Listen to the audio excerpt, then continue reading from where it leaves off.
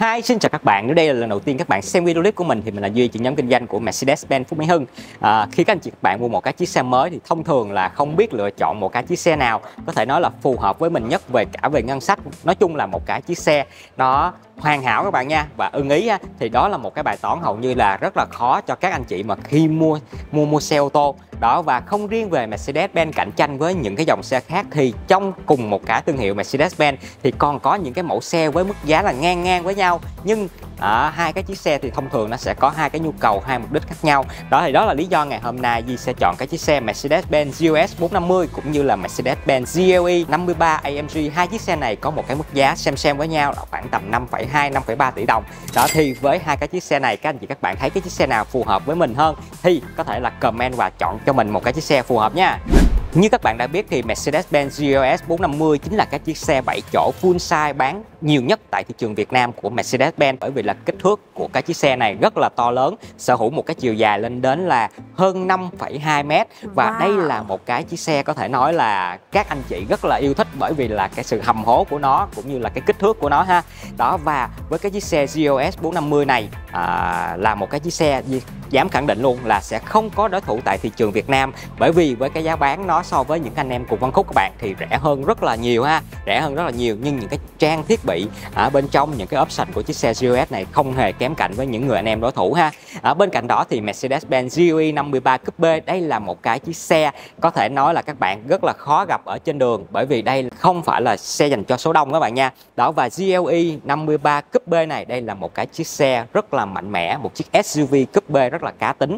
Và thật sự các anh chị các bạn mà chọn cái chiếc xe GLE 53 Coupe này các anh chị phải thật là một người rất là yêu thích lái xe cũng như là rất là đam mê những cái mẫu xe của AMG và các anh chị sở hữu cái chiếc xe GLE 53 à, AMG này thì bên cạnh đó thì ở nhà Duy nghĩ là cũng sẽ có thêm những cái chiếc xe khác rồi. À, mới có thể chọn thêm cái chiếc xe GLE 53 này ha. Đó bởi vì đây là một cái chiếc xe SUV rất rất là đắt tiền các bạn nha đó, và bây giờ Di sẽ mời các bạn cùng Di tìm hiểu thật kỹ hai cái chiếc xe này, xem cái option của nó giống nhau và khác nhau như thế nào. Bởi vì hai cái chiếc xe này có một cái mức giá tương đương với nhau về phần đầu xe thì các bạn sẽ thấy là GLE 53 AMG này sở hữu một cái body rất là hầm hố ha. Các bạn sẽ thấy là lưới tản nhiệt là những cái thanh sọc đứng ha. Đây là một cái thiết kế đặc trưng của những cái mẫu xe AMG thế hệ mới, cùng với lại logo to bản ở giữa. Về phần đầu xe thì các bạn sẽ thấy ở đây có thêm một cái camera ở phía trước, chứng tỏ là GLE của chúng ta có camera 360 độ ha. Và với GLS 450 của chúng ta thì chắc chắn cũng sẽ có ha.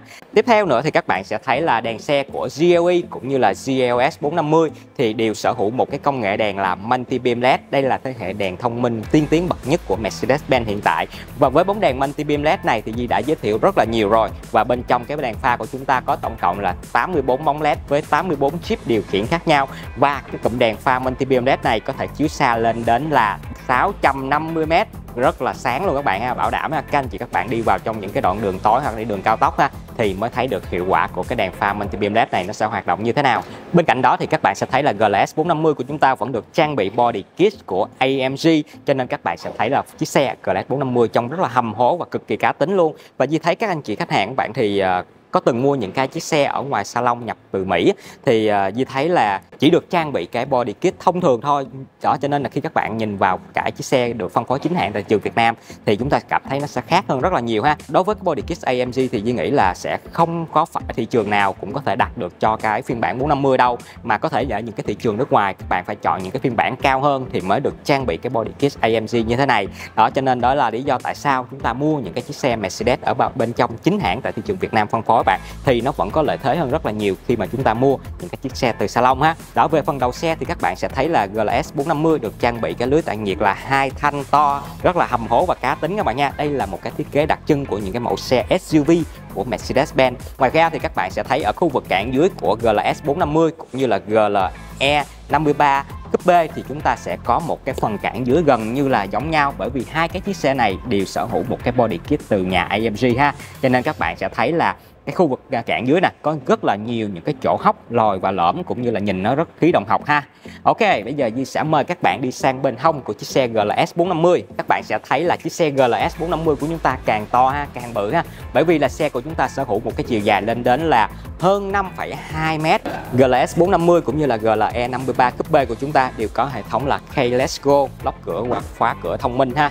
Khi chúng ta chạm vào đây nó sẽ lóc cửa cũng như là chạm vào đây nó sẽ mở cửa. Và khi nhìn bên hông như thế này thì các bạn còn thấy là bộ bánh xe của chiếc xe GLS 450 nhìn rất là hầm hố ha bởi vì là mâm xe của chúng ta là mâm của AMG và kích thước lớp bánh trước là 275 trên 45 R21 và kích thước bánh sau của GLS sẽ bự hơn một chút xíu các bạn nha. Đó là 315 trên 40 R21 có nghĩa là lớp sau của chúng ta sẽ có bề hông rộng hơn. Đó, và một điểm nữa các bạn là GLE 53 Coupe thì đều được trang bị kích thước lớp giống như là GLS 450 nhưng một cái điểm khác biệt một chút xíu ở cái phần lớp xe của chiếc xe GLE 53 này, đó là các bạn sẽ thấy là cái thông số lớp nó có thêm cái phần là ZR21 thì đối với những cái lớp xe có chữ ZR là những cái lớp xe được trang bị cho những cái chiếc xe à, thể thao và đi ở tốc độ cao các bạn nha. Có nghĩa là cái lớp này nó sẽ khác một chút xíu so với lại lớp xe của GLS 450 nhưng mâm xe và kích thước lớp bánh trước bánh sau thì đều là giống nhau các bạn ha. Đó và một điểm nữa các bạn. À, các bạn sẽ thấy là ở trên bên hông về trước của GLE 53 Coupe thì các bạn thấy là chữ Turbo Formatic Plus nè các bạn thấy không? Formatic Plus. GLS 450 của chúng ta thì vẫn được trang bị hệ thống vận hành 4 bánh toàn thời gian là Formatic thôi. Nhưng trên GLE 53 của chúng ta thì hệ thống vận hành 4 bánh toàn thời gian này nó còn đặc biệt hơn một điểm nữa các bạn. Đó là đối với chiếc xe GLS 450 thì cái hệ thống phân bố tỷ số truyền ở phía trước và phía sau lúc nào cũng là cố định thì hầu như là ở phía sau là 55 và phía trước là 45% đó, nhưng đối với chiếc xe GLE 53 Coupe này thì cái tỷ số chuyền nó sẽ biến thiên liên tục luôn bạn. Nó sẽ không có cố định là 55 45 hay là 50 50 mà là nó có thể là biến thiên 20 80 hoặc là 10 90 hoặc là biến thiên một cách liên tục và tùy theo ở tốc độ và tùy theo cái đoạn đường. Đó là lý do tại sao mà chiếc xe GLE 53 Coupe là một cái chiếc xe được đầu tư rất là nhiều ở cái phần mà cảm giác lái để giúp cho cái người vận hành của chiếc xe này à, phấn khích nhất có thể cũng như là an toàn tuyệt đối các bạn nha. À, tiếp theo nữa các bạn sẽ thấy hệ thống treo của chiếc xe GLS 450 cũng như là à, GLE 53 Coupe đều sở hữu hệ thống treo bằng khí nén. Đó đối với những hệ thống treo khí nén thì chỉ trang được trang bị trên những cái mẫu xe thật sự rất là cao cấp của Mercedes-Benz GLS 450 cũng như là GLE à, 53 Coupe đây là những cái chiếc xe SUV cỡ lớn một cái SUV to và rất là cao cấp. Cho nên các bạn sẽ thấy nè cái cùm phanh của chúng ta nó sẽ to hơn rất là nhiều so với những cái chiếc xe thông thường. Đó và đĩa phanh của chúng ta vẫn là đĩa phanh to và có đục lỗ ha. Đây là một cái chi tiết mà Duy phải nói đến bởi vì hệ thống phanh xe chính là một trong những cái rất là nổi bật trên những cái chiếc xe Mercedes-Benz. Bên cạnh đó thì các bạn sẽ thấy nè GLE 53 Coupe của chúng ta sở hữu một cái kiểu dáng phải thật sự gọi là rất là hấp dẫn khi mà chúng ta nhìn từ phía sau các bạn. Đó, và cái khu vực mà đẹp nhất của chiếc xe này thì Duy nghĩ đó chính là cái khu vực khoang sau này. Đó, các bạn sẽ thấy nè à, phần mui xe ở phía trên sẽ được vuốt xuống ha, kéo dài liền qua cái khu vực cốp sau ha. Đây là một cái thiết kế rất là đẹp trên những cái mẫu xe SUV coupe các bạn nha. SUV coupe à, các bạn thấy không? Duy nghĩ là với cái chiếc xe GOE 53 coupe này khi mà lăn bánh ở ngoài đường á các bạn nhìn cái phần đuôi xe của chiếc GLE 53 coupe này thì thật sự ha rất rất là thích luôn các bạn. Ok, bây giờ Di sẽ mở cái cốp xe này cho các bạn xem ha. Cái GLE 53 Coupe các bạn thì các bạn sẽ không phải là mở ở khu vực này giống như là những cái chiếc xe SUV thông thường đâu. Mà chúng ta mở cái cốp ở ngay cái logo nè. Và bên trong cái cái, cái chỗ mở cốp này các bạn cũng là một cái camera ở phía sau luôn ha. Đây, các bạn thấy nè, đó có một cái camera được giấu ở trong này nha. À, bởi vì là đây là một cái chiếc xe SUV coupe cho nên là cái phần mà đuôi xe các bạn sẽ được vuốt dài ra phía sau. Đó cho nên là các bạn sẽ thấy là cái phần cốp của chiếc xe này nó rất là sâu vào bên trong luôn. Nhưng nghĩ là nó sẽ sâu hơn rất là nhiều so với những cái chiếc xe SUV thông thường. Đó bởi vì là cái phần mà mà này đó các bạn. Phần vuốt xuống nè ha. Ok, tiếp theo nữa thì ở dưới của cái cốp này đó là cái bánh xe dự phòng ha. GLS 450 của chúng ta vẫn được trang bị lớp xe dự phòng. Ở trên này thì các bạn sẽ thấy là có một cái tấm che hành lý ha gấp thành 3 khúc ha, rất là đẹp ha. Ok bây giờ Di sẽ đóng cái cốp này lại nha.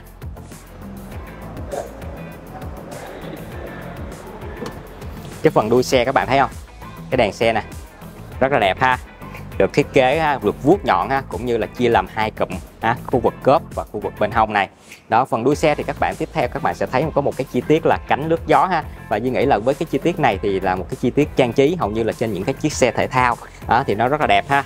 Ngoài ra thì cái phần cản dưới của chiếc xe này các bạn các bạn sẽ thấy là bô kép đối xứng hai bên và bô xe của chúng ta là có cái logo AMG luôn. Và các bạn để ý á, là những cái chiếc xe nào mà có cái bô xe mà đối xứng như thế này bô kép đối xứng như thế này và có cái logo AMG thường sẽ đi kèm theo một cái tiếng bô. Bởi vì đây là cái bô xe của AMG ha nghe nó rất là phấn khích cũng như là đủ để cho chiếc xe này cảm thấy là phấn khích khi mà người lái vận hành cái chiếc xe này ha. Đó không quá ồn ào nhưng mà đủ làm cho chúng ta cảm thấy là thú vị à, bên cạnh đó thì Di sẽ cho các bạn xem nè phần cốp xe của chiếc xe GLS 450 thì đuôi xe của GLS 450 đây là một cái thiết kế SUV cỡ lớn cho nên là các bạn sẽ thấy là cái phần mà cốp xe nó cũng sẽ được thiết kế coi coi như là ừ, làm sao có thể là gọi là rộng nhất và thoáng nhất ở bên trong xe cũng như là cái phần cốp xe của chúng ta. Đó như thế này. Đó, đây là cái chiếc xe 7 chỗ cho nên là khi mà chúng ta ừ, dựng cái hàng ghế ở phía sau này lên các bạn thì cái khu vực cốp này nó cũng không quá to ở trong trường hợp mà chúng ta cần để nhiều đồ hơn thì chúng ta có thể là gặp được cái hàng ghế ở phía sau này. Và tất cả những cái ghế của bên trong của chiếc xe GLS 450 này đều là ghế gập bằng điện hết các bạn nha. Ok, bây giờ Di thử gặp cho các bạn xem nè. Đây. Đây là cái khu vực để gặp cái hàng ghế số 3 còn đây là cái khu vực để gặp cái hàng ghế số 2 nè. Bằng điện hết luôn các bạn, rất là thích ha. Và các bạn nhìn nè, nó gặp ghế rất là đẹp luôn đây gặp ghế rất là đẹp các bạn ha. Khi mà gặp xong thì cái mặt cái ghế của chúng ta nó sẽ biến thành một cái mặt phẳng ha. Chúng ta có thể là biến cái chiếc xe SUV à, full size 7 chỗ này thành một cái chiếc xe tải chở đồ luôn các bạn nha. Bởi vì là cái cốp bên trong nè rất là rộng luôn các bạn ha. Đây là một cái điểm mà Duy nghĩ là các anh chị khách hàng khi mà mua cái xe GLS này rất là thích luôn. Cũng như là GLE 53 Coupe B thì GLS của chúng ta vẫn được trang bị cái lớp xe dự phòng nè. Nè các bạn thấy không? À, ok. Một cái điểm nhỏ nữa các bạn là GLS 450 nó sẽ khác so với là GLE 53 các bạn là cái phần Oppo của cái chiếc xe nó sẽ là đây là một cái chi tiết Oppo thôi chứ không phải là hơi nóng nó sẽ đưa ra từ đây mà là hơi nóng nó sẽ đưa ra từ cái cổ bô ở phía, dưới này các bạn. Thì đây à, đây là một cái thiết kế mà như thấy là cũng rất là hay bởi vì khi mà chúng ta đứng ở từ ở phía sau này các bạn thì chúng ta sẽ không bị nóng chân khi mà chúng ta lấy đồ ha. GLS 450 thì các bạn sẽ thấy có một cái thiết kế ha à, rất là đẹp rất là liền lạc luôn các bạn. Đó và với cái nội thất của chiếc xe GLS hoặc là chiếc xe GLS này Di đã quay review rất rất là nhiều lần rồi. Ha, các bạn nào mà muốn xem kỹ hơn riêng về cái chiếc xe GLS này thì có thể là xem lại những cái video clip của Di ha. Đó về phần khu vực táp lô này thì các bạn sẽ thấy là GLS 450 cũng như là GLE 53 của chúng ta có một cái thiết kế gần như là giống nhau. Đó và cả hai cái xe này các bạn đều sử dụng chung một cái hệ điều hành đó là MBUX ha. Đó và màn hình cũng là màn hình liền khói ha và chúng ta có thể là cảm ứng. Đó và có ngôn ngữ bằng tiếng Việt luôn rất là thân thiện và rất là dễ sử dụng ha khu vực này thì các bạn sẽ thấy là có những cái hốc gió máy lạnh nè. Thì trên GLE 53 của chúng ta cũng y chang như thiết kế này luôn các bạn. Những cái phím để điều khiển cái à, máy lạnh của chúng ta nằm ở đây ha. Và GLS 450 của chúng ta thì à, chi tiết ốp gỗ màu đen mờ. Đó, còn đối với lại GLE 53 Coupe của chúng ta các bạn, bởi vì đó là một cái chiếc xe thể thao ha đặc trưng cho nên là cái khu vực này được ốp bằng sợi kim loại ha. Các bạn nhìn thấy là rất giống với lại sợi carbon. Đó GLS 450 thì được trang bị cái vô lăng à, bọc da cũng như là có chi tiết bằng gỗ ha. Đó và vô lăng của chúng ta là vô lăng tròn. Tay lái của chúng ta thì được trang bị những cái nút điều khiển ha, đa chức năng ở trên này. Đó ngoài ra thì cái GLE 53 của chúng ta thì sẽ được trang bị cái vô lăng khác hơn các bạn vô lăng nó phải thật sự là đó là một cái chiếc xe thể thao. Khi mà chúng ta cầm vào, bạn thì sẽ có những cái chi tiết như là da lộn ha, cũng như là da nắp ba. Và vô lăng của chiếc xe GLE 53 là cả vô lăng đi khách của AMC và có những cái núm điều chỉnh ha, nhìn nó rất là cá tính. Khi mà các bạn ngồi vào cái vị trí ghế lái của chiếc xe GLE 53 cúp B này thì bảo đảm lên chúng ta chỉ muốn là đạp hết ga thôi. Bởi vì là cái chiếc xe ngồi vào thì chúng ta cảm thấy ha, một cái sự phấn khích ha, rất là khác biệt so với những cái chiếc xe thông thường. Đó, và chất liệu ghế của GLS 450 thì chỉ được trang bị là chất liệu da thật thôi các bạn.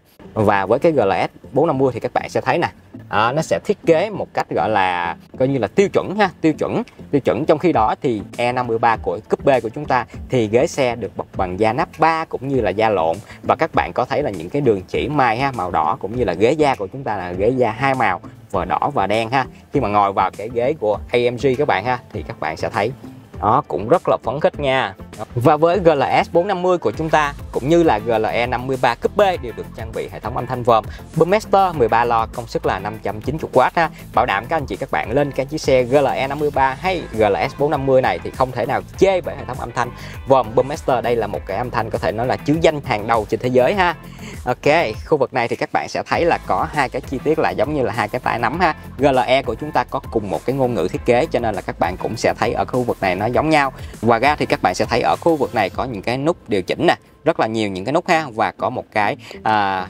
touchpad để chúng ta điều khiển cho cái màn hình cảm ứng này luôn. Cả hai chiếc xe của chúng ta đều có trang bị giống nhau. Đó ngoài ra thì GLS 450 cũng như là GLE 53 của chúng ta đều sử dụng hệ thống treo bằng khí nén.